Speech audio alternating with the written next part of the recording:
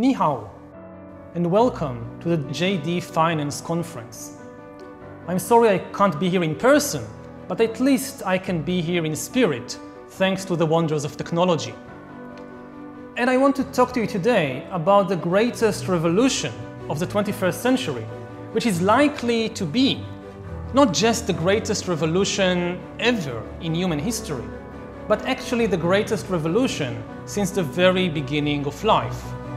For four billion years, all of life was controlled by the principles of natural selection and by the laws of organic biochemistry.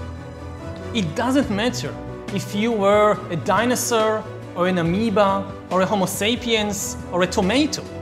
You evolved by natural selection and you were made of organic compounds.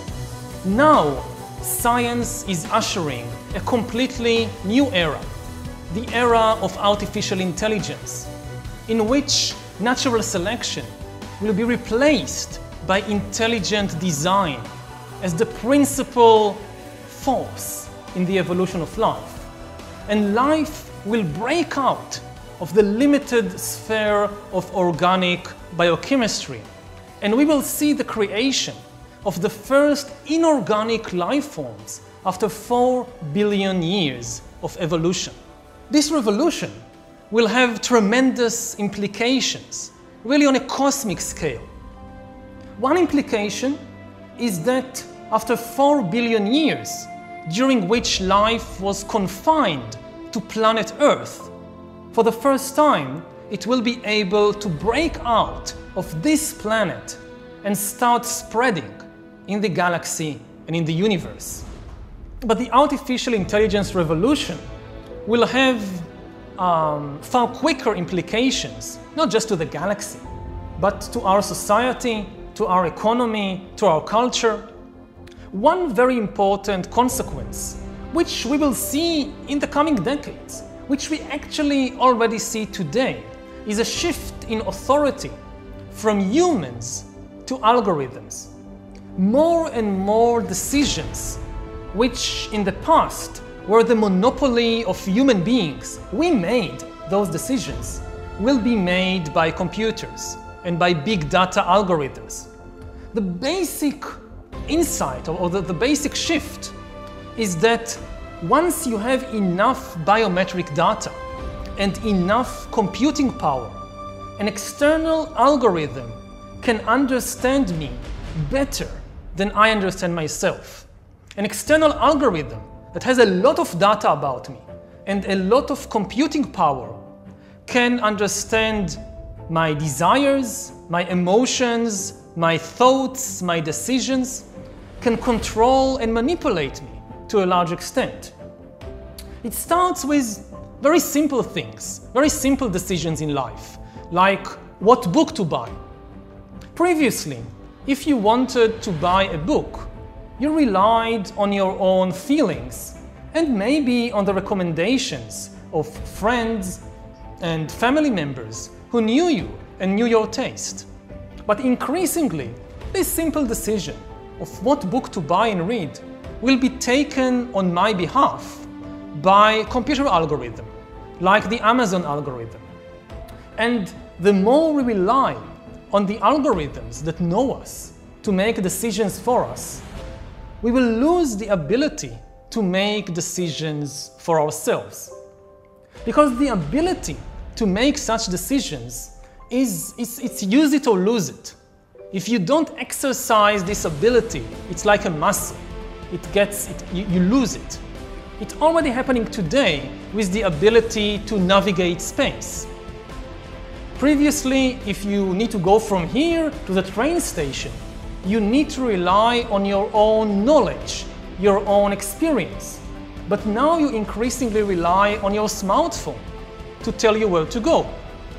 And very soon, you just lose the ability to find your way around space. So one important impact of the AI revolution will be that authority will shift from humans to algorithms. Another important influence will be that AI will completely change the economy, and especially the job market. as AI outperforms humans in more and more tasks, it will push humans out of more and more jobs, and we might see the creation of an immense new global class, a, a useless class, a class of people with, that cannot do anything better than an AI. Uh, professions, for example, like driving vehicles. Five or ten years ago, it seems science fiction to think that a computer could drive a car better than a human being. But today, most experts in the industry assume it's just a matter of time maybe 10 years, maybe 20 years, maybe 30 years, until computers and self driving cars push human drivers out of the job market and replace millions of taxi drivers and bus drivers and truck drivers. The advantages of an AI driver over a, over a human driver are potentially at least immense. So it makes a lot of sense to replace human drivers uh, with AI drivers. And for similar reason, it will make a lot of sense to replace even human doctors with AI doctors. And this will be accompanied by a huge shift in economic and political power from the vast majority of people to a very small elite that controls and owns the algorithms, the computers, the networks. The same thing may even happen in the world of finance. In order to make wise and efficient financial decisions, speed is often very important and the ability to analyze a large amount of information. AI can process information much faster and more efficiently than any human beings Another important advantage of AI when it comes to making financial decisions is that AI has no emotions and no body. When humans make financial decisions about millions, millions of dollars or millions of yens or, or euros, they often make terrible mistakes because they are tired, because they are not focused, because they are angry about something, because they are depressed, and AI will never make such mistakes. It has no body, so it's never hungry or tired.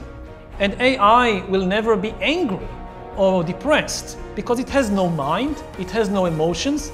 It will always make the decision according to the data it sees, not according to a momentary emotion.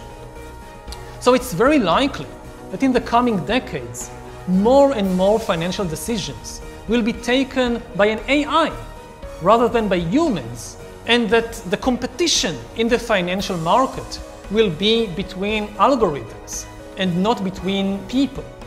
In fact, as this process accelerates, we may reach a point, even within our lifetime, when the financial markets managed by AI, things are happening so fast on such a large scale that no human being is able to understand the financial market anymore. In 50 years, maybe no human being will be able to understand the financial system. Only AI will have the capacity to process so much data so quickly to make sense of our financial world. The end result of these processes in the job market is that we may see uh, the rise of a new class, the useless class. Just as that in the 19th century, the Industrial Revolution created a new class, the urban proletariat, the working class. And maybe the, one of the biggest economic and social and political questions of the 21st century will be what to do with these hundreds of millions of useless people. Useless, of course, not from the viewpoint of their parents or friends or children, but useless from the viewpoint of the economic and political system. Of course, new kinds of jobs are likely to appear. As old jobs disappear in driving cars, in uh, manufacturing shirts, even in medicine or finance, new jobs are very likely to, to appear, to be created. But we cannot be sure that enough new jobs will be created. And in addition, there are two very big obstacles uh, that might prevent all these new jobs from solving the problem of the useless class. First of all, in, even if there are new jobs for humans, people will need very high skills in order to work in these new jobs. Most experts estimate that routine jobs, like producing a shirt or driving a taxi, this will be taken over by robots and computers. The new jobs will require things like creativity, ingenuity, flexibility. And most people just don't have the necessary education and training in order to fulfill these new jobs. So you will have millions of taxi drivers or textile workers without a job and new jobs, for example, in software engineering. What makes it worse is that the AI revolution will not be a single watershed event. The AI revolution will be a cascade of bigger and bigger revolutions.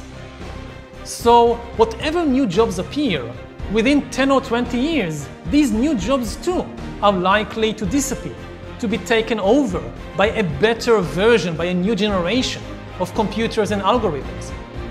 The very idea of having a job for life or a profession for life will become obsolete. This is not a problem that we can delay for 20 or 30 years.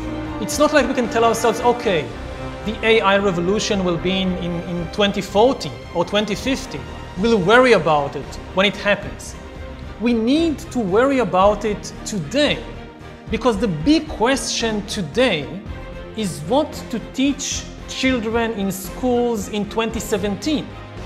What to teach students in college or university in 2017 so that they will have a job, that they will have the necessary skills in 2040. If we wait until 2040, it's too late. Most of what they'll learn in school or college will be irrelevant by that time. And the big problem is that we just don't know what the job market or the economic situation will be like in 2040 or 2050. Nobody knows. Uh, for the first time in history, we don't know how the world is going to look like in 20 or 30 or 40 years. So we have no idea what to teach our children. The best bet is to teach children mental flexibility and mental balance. The only thing we know for sure about the world of 2050 is that it will be a very different world from today and that it will be a very hectic world, characterized by constant change. So, whatever the situation will be, people will need a lot of mental balance and mental flexibility to deal with all these changes. One final comment uh, before we part. It should be very clear that technology is not deterministic. It never was. Technology always opens a broad spectrum of possibilities before us, but it doesn't determine which possibility we choose to realize. Artificial intelligence is definitely going to completely change our life, our society, our economy, our political system. But in what way? There are many different ways, and we still have some measure of choice what to do with these new technologies. If some of the possibilities that I've outlined here scares you, you can still do something about it. Thank you.